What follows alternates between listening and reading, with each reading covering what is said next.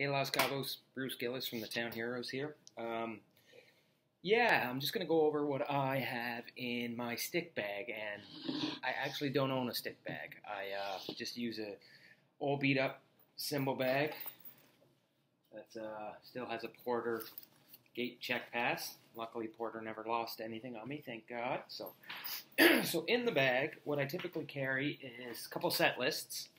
Um, some of them are the same. Some of them are empty papers like this. But usually uh, I have writing material, pen, uh, paper, all that fun stuff. Of course, Los Cabos drumsticks. I carry a ton, like brand new ones, beat up ones. Um, yeah, lots and lots of sticks. So they just sit in the bottom under my cymbals, and yeah. I also found this. I forgot it was in there. Strepsils, but I like candy or anything for when my uh, throat's on fire or not. Something to chew on, suck on, whatever, while I play. I just recently bought one of these. I probably won't carry it all the time in the bottom of the bag. I'll make sure it's at the top, but it's a TuneBot.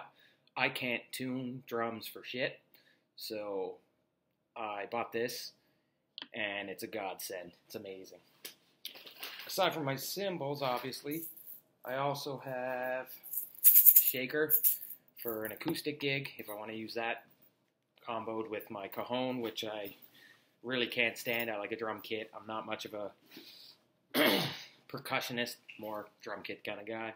Moon gels, always use moon gels. Um, just kind of experiment what's the best spot to put them.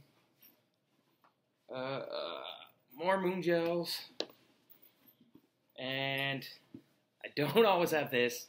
Most drummers don't. We always forget the drum key. So yeah, I try to keep it there all the time. Easier said than done. It's like a guitar player with their guitar pick, always losing it. So, but I have a million lying around the house, so I try to do a check before anyway. So, anyways, that is in my stick bag slash cymbal bag, whatever.